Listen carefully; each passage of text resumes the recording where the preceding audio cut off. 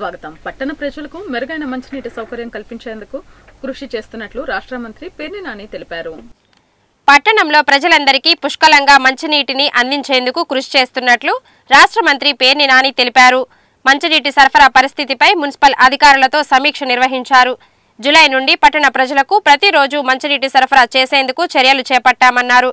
పట్టణంలో కొత్తగా దాదాపు ఇరవై ఐదు కోట్ల రూపాయల వ్యయంతో మరో పన్నెండు మంచినీటి రిజర్వాయర్లు నిర్మించేందుకు సన్నాహాలు చేస్తున్నట్లు ఆయన వివరించారు. ఈ నెల ఎనిమిదవ తేదీ నుండి మందులగూడెం వలందపాలెం రిజర్వాయర్ల నుండి పరిసర ప్రాంత ప్రజలకు మంచినీటి సరఫరా చేయాలని నిర్ణయించామన్నారు. రుస్తుంబాద దేశాయిపేటలలో రిజర్వాయర్ల నుండి ఈ నెల ముప్పై తేదీ నుండి మంచినీటి సరఫరా చేయనున్నట్లు మంత్రి పేర్ని నాని తెలిపారు.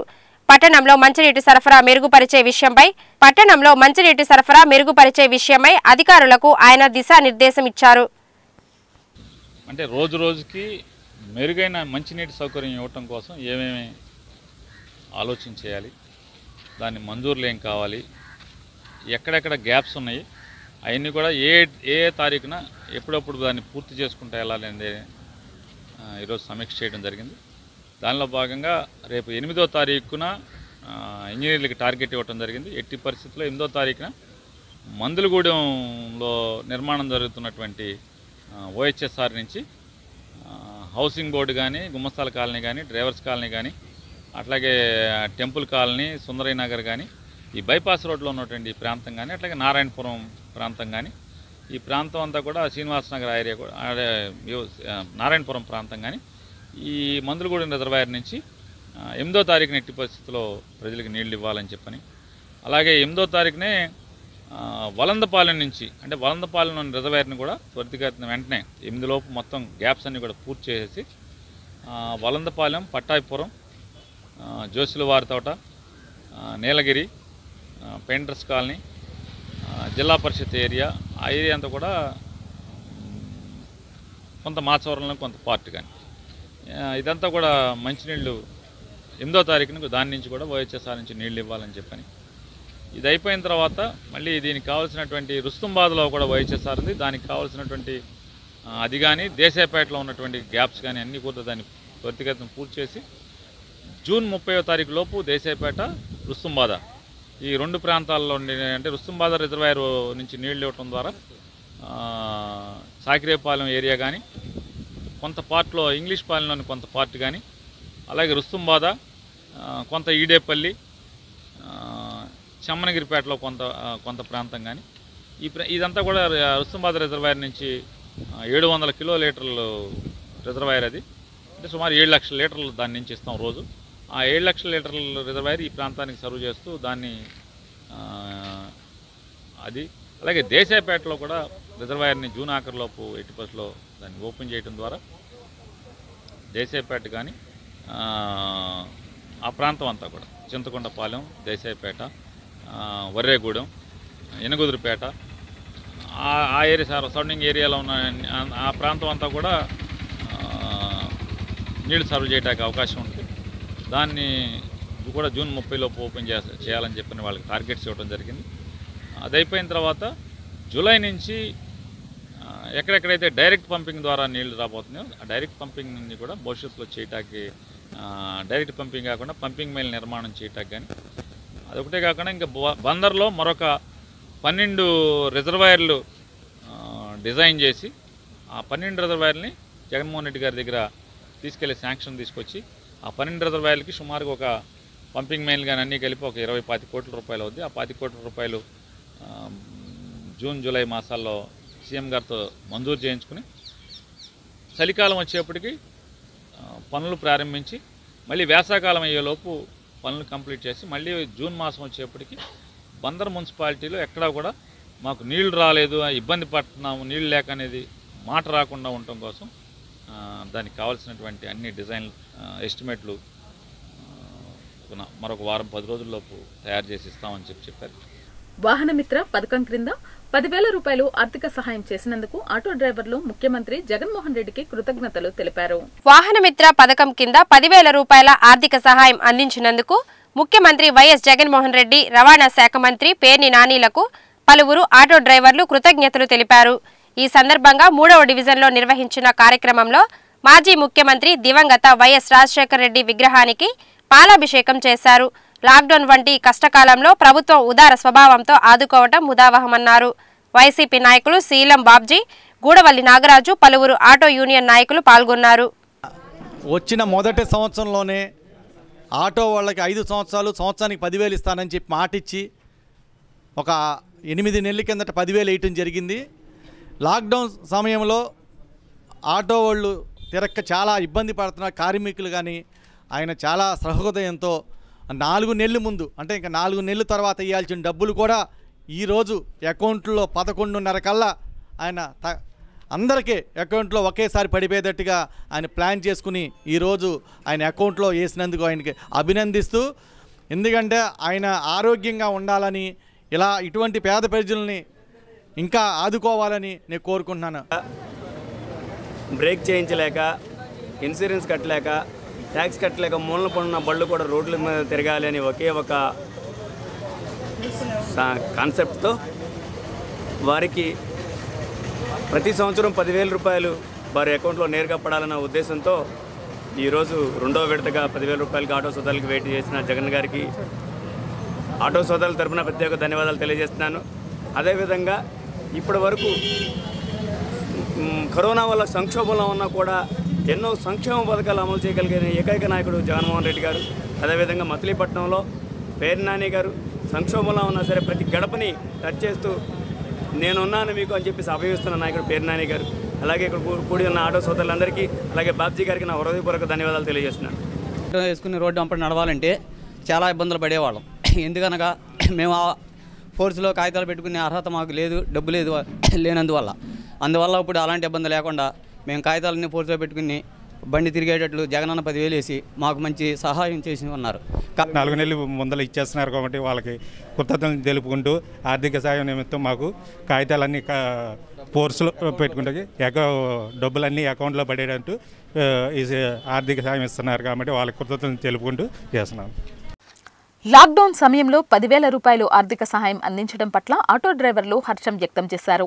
ఈ సందర్భంగా నలభై మూడవ డివిజన్ పరిధిలోని మూడు స్తంభాల సెంటర్ వద్ద ముఖ్యమంత్రి వైఎస్ జగన్మోహన్ రెడ్డి రవాణా శాఖ మంత్రి పేర్ని నానీల చిత్రపటానికి ఆటో డ్రైవర్లు పాలాభిషేకం చేశారు. Division YCP incharge Lanka Suribabu ఆధ్వర్యంలో జరిగిన ఈ కార్యక్రమంలో పలువురు ఆటో డ్రైవర్లు పాల్గొన్నారు. Auto workers Tata magic workers అందరూ కూడా కలిపి ఈ రోజున జగన్మోహన్ రెడ్డి గారు పదివేల రూపాయలు ఈ కరోనా టైంలో కూడా ఆయన వాళ్ళకి ఆర్థిక సాయంగా చేయటం. ఆ రోజున పాదయాత్రలో నేను మీకు అందరికీ కూడా పదివేల రూపాయలు ప్రతి సంవత్సరం వేస్తానని చెప్పి మాట ఇచ్చి ఆ మాటని రెండోసారి కూడా నాలుగు నెలలు ముందే ఇంకా నాలుగు నెలలు టైం ఉంది వీళ్ళకి వేయడానికి. అయినా సరే ఈ నాలుగు నెలలు ముందే ముందుకొచ్చి ఆయన ఆ రోజున చెప్పిన మాట ప్రకారం మా నాన్నగారు ఒక అడుగు ముందుకేస్తే నేను రెండు అడుగులు ముందుకేసి ప్రతి పేదవాడికి పెద్ద ఒక్కరికి కూడా సాయంగా ఉంటాను ఒక అవకాశం ఉన్న- మాట ఇస్తే ప్రాణం పోయినా మాట తప్పనని మాట నిలబెట్టుకున్న జగనన్న గారికి నిజంగా మే ఆటో డ్రైవర్లు అందరం కూడా జనజనంలో రుణపడి ఉంటాం. కరోనా కష్టం వచ్చింది. అయినా సరే ఈ కష్టాన్ని సైతం ఆయన లెక్క చేయకుండా నాలుగు నెలలు ఐదు నెలలు టైం ఉన్నా కూడా ఆటో డ్రైవర్లు చాలా ఇబ్బందులు పడ్డారు. వారందరికీ సాయం చేయాలనే ఒక ఆలోచనతో ఆయన తీసుకునే నిర్ణయానికి నిజంగా పార్టీలకు సంబంధం లేదు కులానికి సంబంధం లేదు మతానికి సంబంధం లేదు. పదివేల రూపాయలు ఆర్థిక సహాయం అందించడం పట్ల బందర్కోటలో ఆటో డ్రైవర్లు ముఖ్యమంత్రి వైఎస్ జగన్మోహన్ రెడ్డి రాష్ట్ర రవాణా శాఖ మంత్రి పేర్నినాలీల చిత్రపటానికి పాలాభిషేకం నిర్వహించారు. జై యోగేశ్వర ఆటో యూనియన్ ఆధ్వర్యంలో జరిగిన ఈ కార్యక్రమంలో ఇరవై ఒకటవ division YCP incharge Manne Seshayya union అధ్యక్ష ఉపాధ్యక్షులు నాగ మురళీకృష్ణ రమేష్ వీరాంజనేయులు సూరిబాబు సాయికృష్ణ సునీల్ కుమార్ తదితరులు పాల్గొన్నారు. గౌరవనీయులు ముఖ్యమంత్రి గారు జగన్మోహన్ రెడ్డి గారు ఈ వాహన మిత్ర తరపున ఆటో ప్రతి ఒక్కరికి ఆటో ఉన్న వాళ్ళందరికీ పదివేలు కాడికి వేసినందుకు ఆయన కృతజ్ఞతలు తెలుపుతూ మా మంత్రివర్యులు పేరు నాని గారికి మా ఇన్ఛార్జి మన్నే శాసి గారికి ధన్యవాదాలు తెలుపుతూ జయోగేశ్వర ఆటో యూనియన్ వర్కర్స్ అందరి తరపున కృతజ్ఞతలు చెప్తున్నాం.